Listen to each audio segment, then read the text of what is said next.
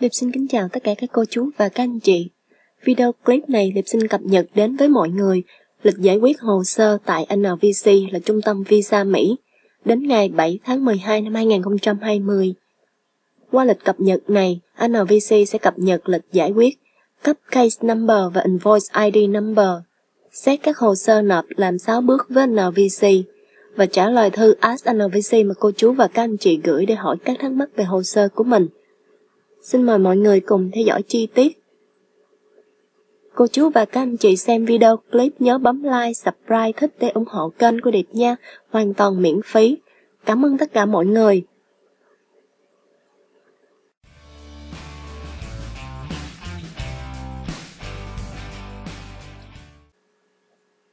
Theo lịch cập nhật của NVC, Trung tâm Visa Mỹ, tính đến ngày 7 tháng 12 năm 2020, ngày hôm nay, thì trung tâm đang xét cấp case number và invoice ID number cho những hồ sơ mà NVC nhận được từ Sở Di trú.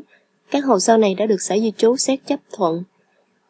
Ngày 25 tháng 11 năm 2020, so với tuần trước, tuần này tăng được 5 ngày. Thời gian thông thường để NVC nhận được hồ sơ từ Sở Di trú gửi qua là từ 30 cho đến 45 ngày sau khi hồ sơ đã được chấp thuận. Và theo lịch cập nhật của NVC Trung tâm Visa Mỹ, đến ngày 7 tháng 12 năm 2020, trung tâm đang xét các hồ sơ nộp đủ giấy tờ làm 6 bước với NVC. Đến ngày 10 tháng 9 năm 2020, so với tuần trước, tuần này tăng được 4 ngày.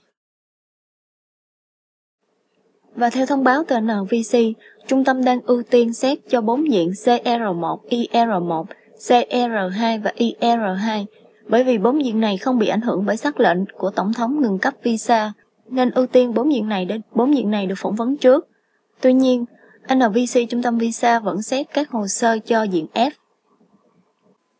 6 bước NVC là làm các bước như đóng tiền visa và tiền phí bảo trợ tài chính, điền đơn DX260, nộp giấy tờ bảo trợ tài chính của người bảo lãnh và nộp các giấy tờ dân sự của người được bảo lãnh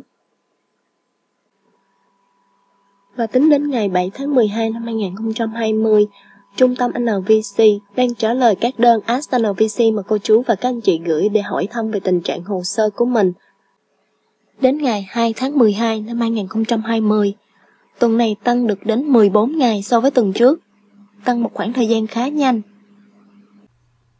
Đây là mẫu form Ask NVC Thông qua mẫu form này, cô chú và các anh chị có thể gửi cho NVC để hỏi xin case number và invoice ID number nếu như hồ sơ chưa có thông tin này. Và để cập nhật địa chỉ mới của người bảo lãnh nếu như hồ sơ đã chuyển qua NVC và người bảo lãnh đã đổi địa chỉ nhà mới. Hoặc qua đơn Ask NVC này thì cô chú và các anh chị cũng có thể hỏi thăm tình trạng mở của hồ sơ nếu như ngày ưu tiên mở hồ sơ đã đáo hạn với ngày ưu tiên của hồ sơ chi tiết cách điền đơn AskNVC và các mẫu thư để hỏi NVC Điệp đã có đăng trên video clip trước, cô chú và các anh chị có thể tham khảo nha. Lịch cập nhật và xử lý hồ sơ tại NVC sẽ được Điệp cập nhật hàng tuần vào ngày thứ hai cho tất cả các cô chú và các anh chị theo dõi. Cảm ơn tất cả mọi người đã xem qua video clip này. Cô chú và các anh chị nhớ bấm like, subscribe, đăng ký để ủng hộ kênh của Điệp nha. Và cũng như là để được YouTube báo những video clip mới mà Điệp đăng lên. Cảm ơn tất cả mọi người đã theo dõi.